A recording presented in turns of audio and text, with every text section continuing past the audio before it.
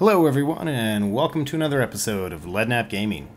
Today, we're going to look at lifetime insurance, or LTI, and ask the ever important question do you really need it? Before we get started, though, if you've ever questioned your landing choices as you wait to exit Hurston's atmosphere, just go ahead and hit that subscribe button. Okay, so there's two ways to look at LTI the insurance model and the commodity model. Depending on which model you subscribe to, the course of action is going to be different, so let's first evaluate the insurance model.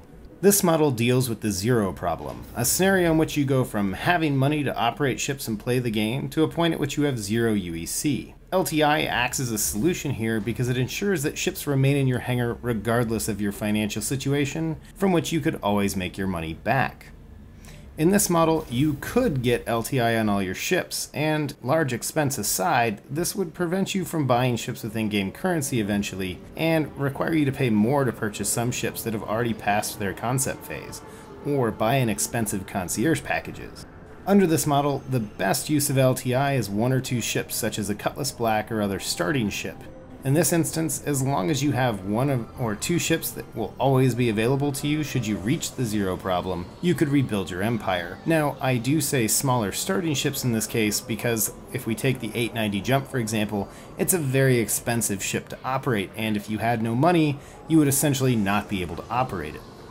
Taking this approach means you will only invest into concepts you actually want, or even wait until they come out in game prior to purchasing them. This is important to consider as well, as currently we're probably still a year or two out from the insurance timer counting down on any ship, and aside from server resets, once you make enough money in game, the zero problem really only exists as a statistical possibility. In fact, in the comments section below, if you've ever had over a million UEC and lost it all in a series of events and had to start over, go ahead and let me know down in the comments section. Now let's talk about the commodity model. In this model, LTI isn't a consideration in the traditional way we think about insurance. Rather, this looks at LTI as securing the real world value of your money in the game. Understanding this concept is pretty simple, as it simply states that anything you spend real money on should persist regardless. Thus, you're insuring the ship not in case of the zero problem, but rather to guarantee that you get full value for your money. At the onset, this would imply that any ship you spend money on should have LTI, but that doesn't really consider the ships as commodities. Let's break this down a step further.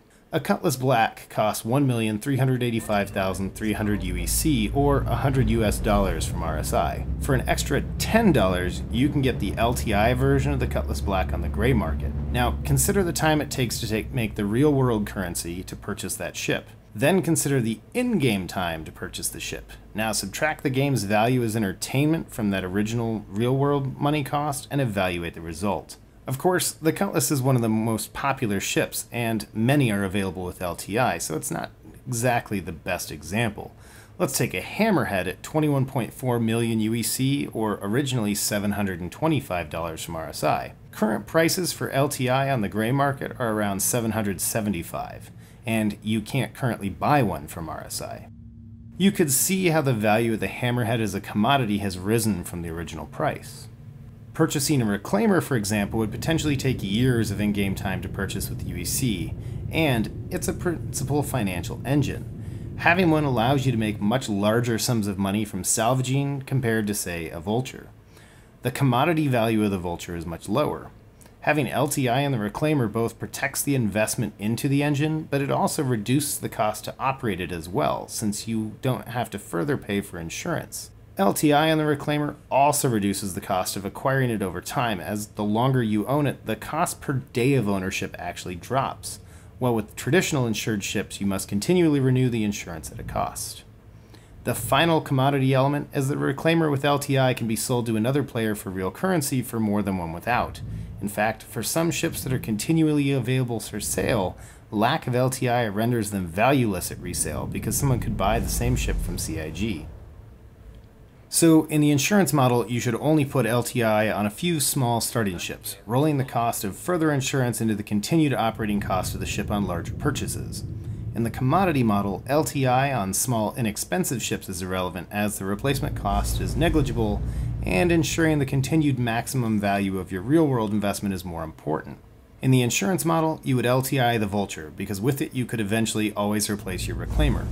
In the commodity model, LTI on the vulture is a waste of real world money, and protecting the value of the reclaimer is more important. So, which model is more viable? Ultimately, it depends on the player and their financial beliefs, but let's discuss it down in the comments. Which model do you think is better and why? As always, thanks for watching. Don't forget to like here and on Facebook, hit that subscribe button, and I will catch you all next time.